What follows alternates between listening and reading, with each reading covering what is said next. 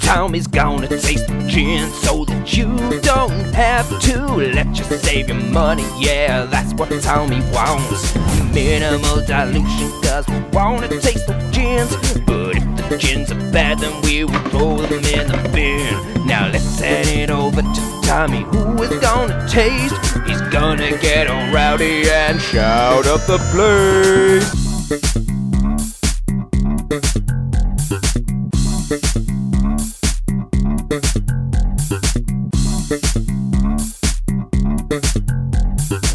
Blah blah.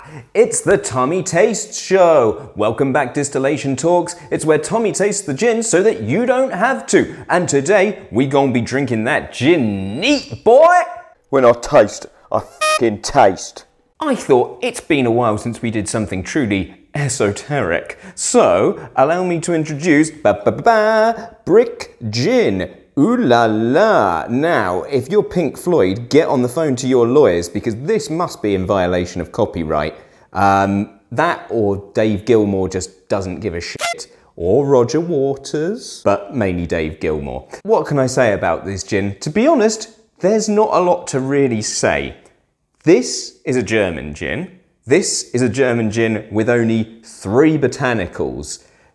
As we've spoken about before, the only thing that qualifies a gin to be a gin is that the main ingredient, botanical, is juniper. And yes, juniper is the main ingredient in brick gin, but it only has two other botanicals. One being coriander, pretty standard in a gin of any description, and two, black pepper, cubeb pepper to be precise. Three, pretty, I don't want to say uninteresting botanicals, but three botanicals that you would certainly expect. I think there is a good argument for doing gins that are just three botanicals because it does give you a chance to see what the difference is in selected juniper and selected other botanicals maybe that go along with it.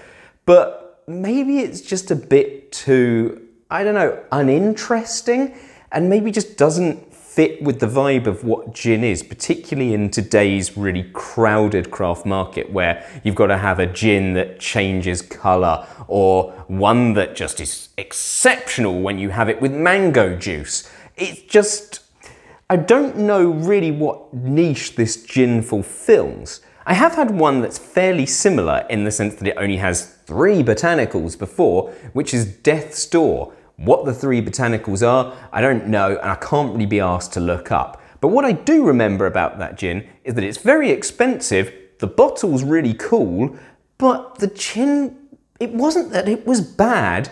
You just kind of went, when you can do things this well, why did you not just use more botanicals? That's not to say that more botanicals are better, but they will add different layers and complexities that you're going to always slightly struggle to get with three botanicals.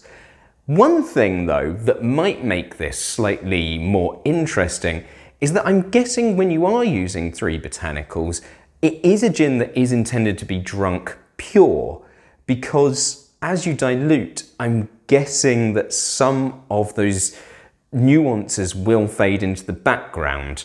Whether that's true, I don't know. I am purely speculating at this point. Oh, and one other thing to add, it's organic.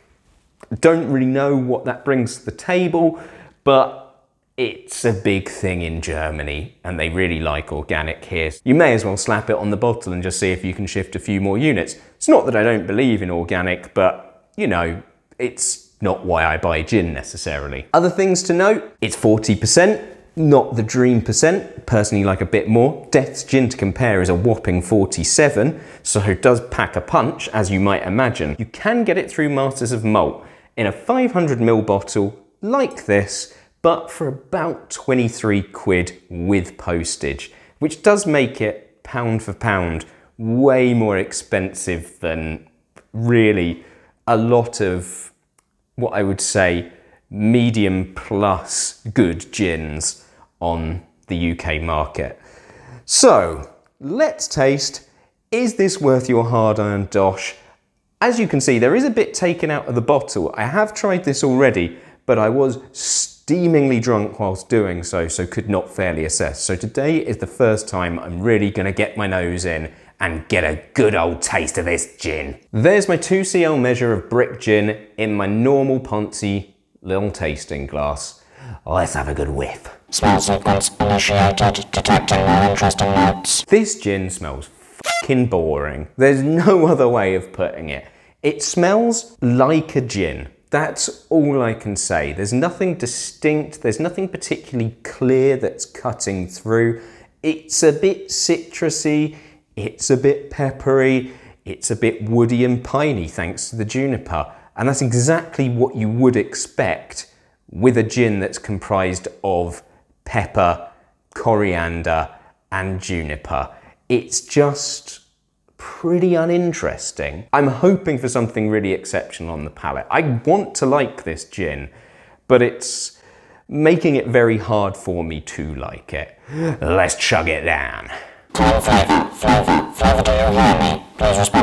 So the positive news is that on the palate, it's actually very nice. It's nowhere near as boring as the nose suggests that it would be. That nose is so muted. On the palate, it's spicy. It feels like one of those kind of over junipery gins, like Sipsmith did the VJOP, which is absolute gash like all of Sipsmith's products are. This one has got a real like pine forest and juniper feel on the finish. That is such a twat thing to say, but it, it is true. And it's nice and sweet, nice and spicy, But hopefully not this spicy. Whee! And I actually really like it, which pissed me off because I really wanted to hate this gin. Well, not really wanted to hate it, but I wanted to give a negative review because I feel like the vast majority of reviews that I've done have been positive and to be honest, it's just more fun to slag something off. But Brick Gin, why did you have to make me like you like this? Let's hope that it gets shit with some ice. This gets my lowest rating ever. Seven thumbs up. It's amazing how much the ice has changed this gin. That woody pine forest twattery that I was going on about before has really jumped much more to the forefront. I think it's slightly lost some of the slightly more citrus and aromatic notes that it had, but it does feel woody as fuck. It feels like some, I've got some like porn star length in my mouth. Make up your mind whether that's good or bad. It feels like it's slightly lacking something now, and I way preferred it when it was just neat. Uh, I'm gonna have another taste now that the ice is diluted a little more and tell you if I find anything different. Your cooking's only got two moves shake and bake. I feel like I'm losing it a bit now. It was good when I still had the majority of an ice cube in there, but now that the ice cube's diluted it, it's starting to feel a little generic and lacking in power.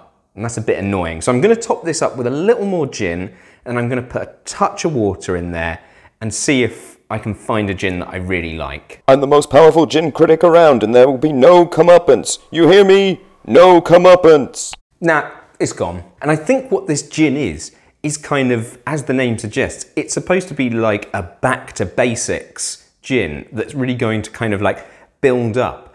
And when they can do such a great job with a straight gin, why don't they just put a bit more in?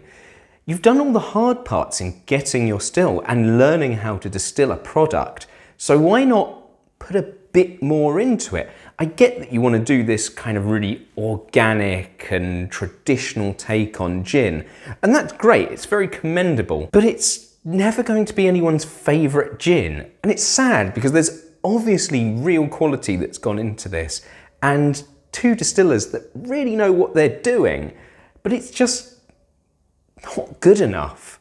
And that's purely because I think they've chosen to keep it minimalist. Admirable, but there. Now, if you're thinking of using this in a cocktail, fuck right off. Don't bother. Bombay or Gordon's in your cocktail. This is not going to add anything there and it will be fucking expensive to do so. Brick gin, please keep producing gin, but please produce one that's got a bit more get up and go in it. I love your gin neat, but uh, would I recommend buying it?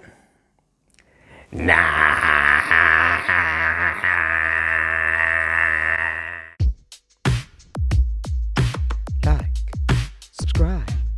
Like, like, and subscribe. Like, like, and subscribe. Like, like, and subscribe. Like and subscribe. Like, subscribe.